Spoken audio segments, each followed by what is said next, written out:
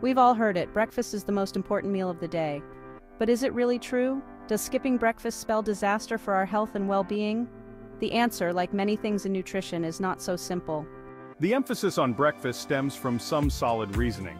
After a night of fasting, breakfast kickstarts our metabolism, providing energy for the day ahead. Studies have linked eating breakfast to various health benefits, including better weight management and improved insulin sensitivity. However, recent years have seen a rise in alternative eating patterns, challenging the traditional view of breakfast. Intermittent fasting in particular has gained popularity, prompting many to ditch breakfast altogether. Ultimately, the best approach is the one that aligns with your body, lifestyle, and health goals. While breakfast has long held its reign as the most important meal, an increasing number of people are choosing to skip it altogether. Whether due to time constraints, changing dietary trends, or simply a lack of morning appetite, breakfast skipping has become more common. Some studies suggest that skipping breakfast may have downsides, particularly for weight management. Research has linked breakfast skipping to increased calorie intake later in the day, potentially leading to weight gain. However, other research paints a different picture. Some studies have found no significant link between skipping breakfast and weight gain or adverse metabolic effects. The conflicting findings highlight the complexity of the breakfast debate. Factors such as individual metabolism, genetics, activity levels, and overall dietary patterns can all influence how our bodies respond to breakfast or the lack thereof. Fasting, in its various forms, is not a new concept.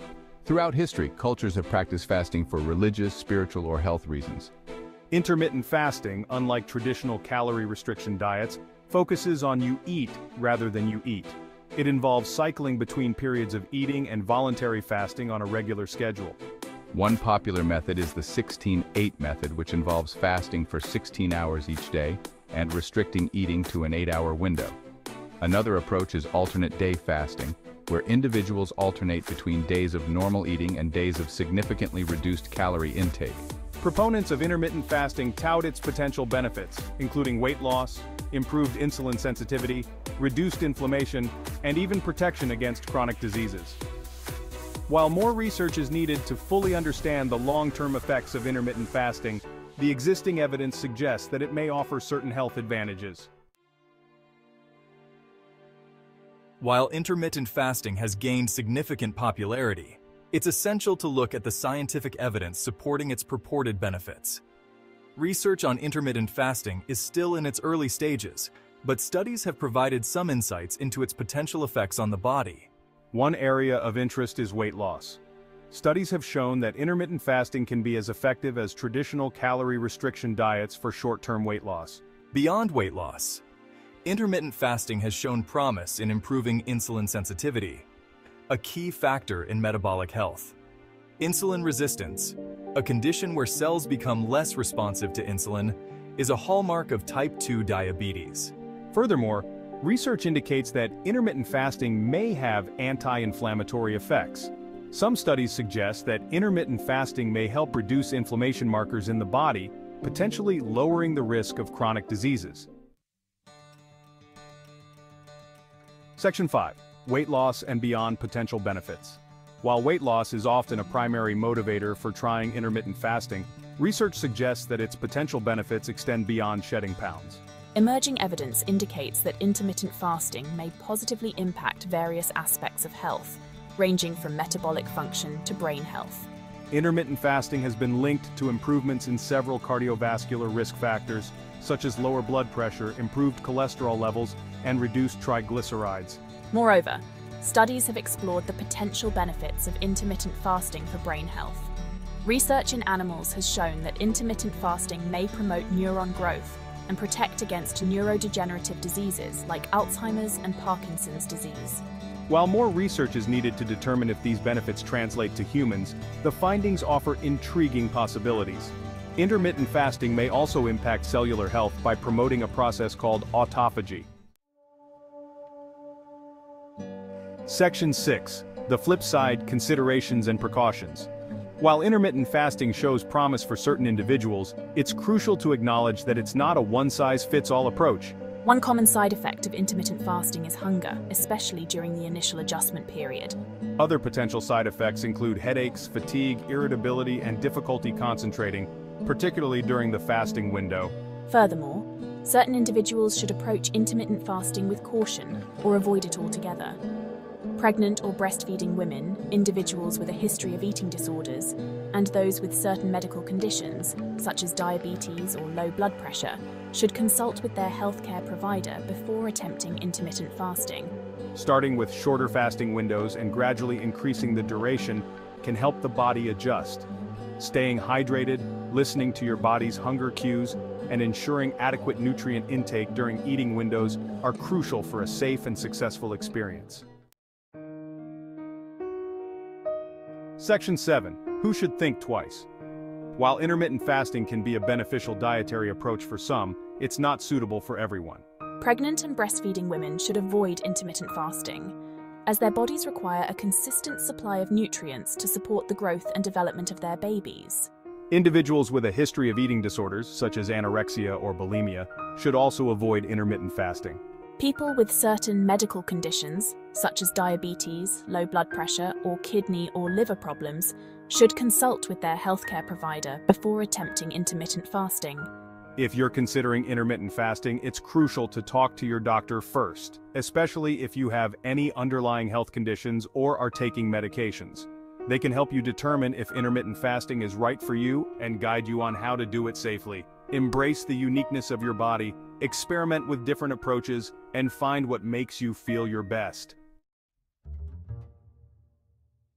Section 8. Finding your fit breakfast or fasting. With the ongoing debate between breakfast and intermittent fasting, it's natural to wonder which approach reigns supreme. The best choice for you depends on your individual needs, preferences, lifestyle, and health goals.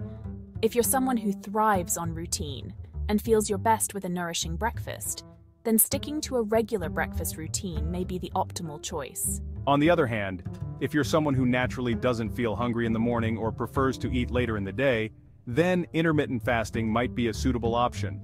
Experiment with different fasting windows and find a schedule that aligns with your lifestyle and preferences. Remember, the key is to choose an approach that you can sustain long-term and that supports your overall well-being.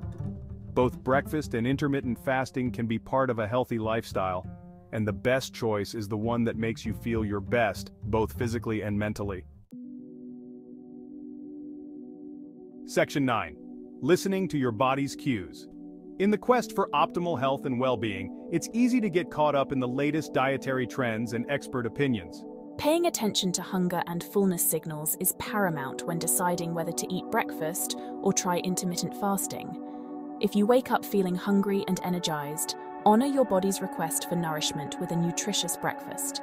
Conversely, if you find that you're not particularly hungry in the morning and naturally gravitate towards later meals, experimenting with intermittent fasting might align better with your body's natural rhythm. Remember, there's no need to force yourself to eat if you're not hungry or restrict food if your body is craving nourishment. Trust your intuition and make choices that feel both physically and mentally satisfying. Section 10. Making informed choices for your health. Navigating the world of nutrition can feel like navigating a maze. However, by arming yourself with knowledge, listening to your body, and seeking personalized guidance, you can make informed choices that support your overall well-being. When deciding whether to eat breakfast or try intermittent fasting, it's essential to consider your individual needs, preferences, and health goals. Consulting with a registered dietitian or healthcare professional can provide personalized guidance based on your unique circumstances. Remember, there's no one-size-fits-all approach to nutrition. Embrace the uniqueness of your body, experiment with different approaches and find what makes you feel your best. Section 11. The Future of Eating, a Personalized Approach. As we delve deeper into the complexities of nutrition science, it's becoming increasingly clear that a personalized approach to eating is the key to optimizing health and well-being. The future of eating lies in understanding our individual needs and tailoring our dietary choices accordingly. The debate between breakfast and intermittent fasting highlights the importance of this personalized approach. Factors such as genetics, metabolism, lifestyle, and personal preferences all play a role in determining what works best for each person. As technology advances, we can expect even more personalized nutrition guidance. Wearable devices, genetic testing, and microbiome analysis are providing valuable insights into our unique biology, allowing us to make more informed decisions about our dietary choices.